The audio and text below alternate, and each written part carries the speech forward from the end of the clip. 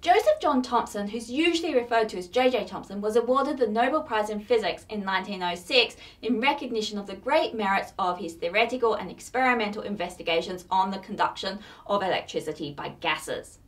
J.J. Thomson managed to measure the charge to mass ratio of the electron by using cathode ray tubes similar to those that we saw in the last video.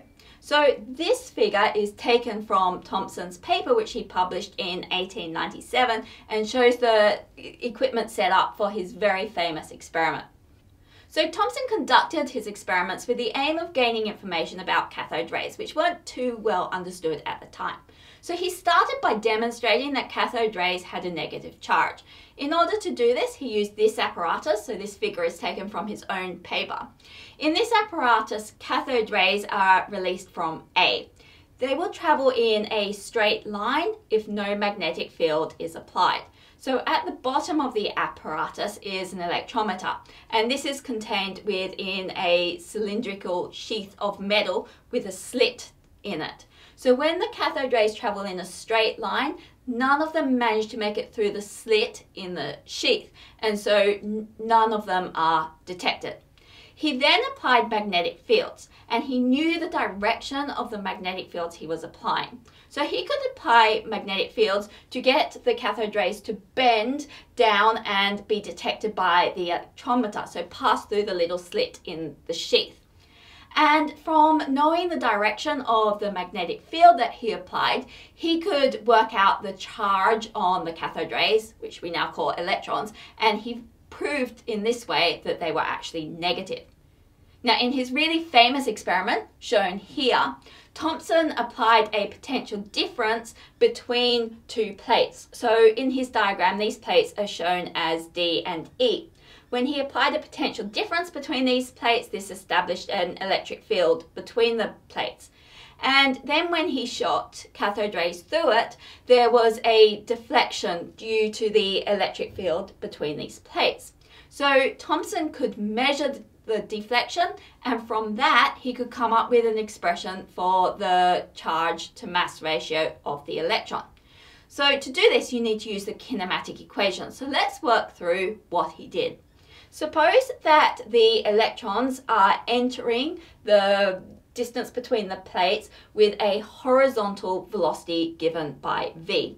We'll assume that the plates have a length L then the time spent between the plates is going to be given by T is equal to L divided by V. And while the cathode rays are between those plates, they are experiencing a force due to that electric field.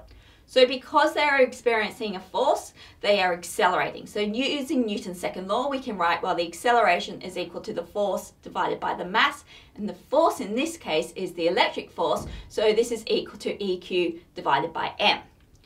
Now, initially, these cathode rays or electrons had no vertical velocity. So we can use our kinematic equations to write that the amount of deflection, which we'll call y, is equal to a half at squared. And then using what we've just written, we can say, well, this is equal to a half eq on m times l squared on v squared. So Thomson realized that he could find the velocity of the electron as it entered the region between the plates by applying a magnetic field. If he applied a magnetic field until there was no deflection of the electron, this would tell him that the magnetic force and the electric force were then balanced. So as an equation, he could write QVB, the magnetic force, is equal to EQ, the electric force, which he could then rearrange to get, well, the velocity of the electron was equal to E divided by B. He could then substitute this value for the initial velocity back into the deflection that he measured when there was no magnetic field. And so this becomes y is equal to a half EQ on m times L squared divided by E squared on B squared and these electric field terms partially cancel so this becomes equals to a half q on m l squared b squared on e.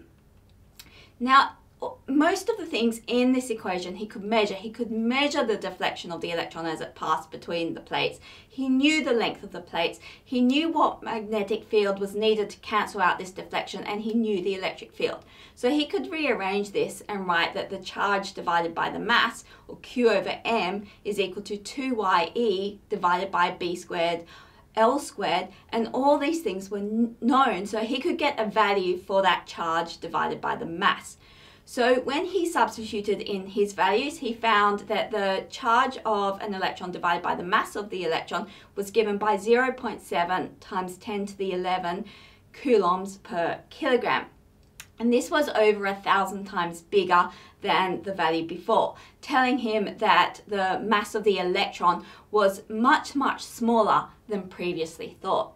So compared to the accepted value today, this is the same order of magnitude. The charge on the electron divided by the mass of the electron is equal to 1.602 times 10 to the minus 11 divided by 9.109 times 10 to the minus 31, which is equal to 1.75 times 10 to the 11 coulombs per kilogram. So Thomson made great strides forwards in this in showing that electrons were a lot lighter than previously measured and were definitely negatively charged. So he went on from this to propose the plum pudding model, which we now know is not correct. So he envisaged atoms as a large sphere of positive charge with these small electrons embedded throughout.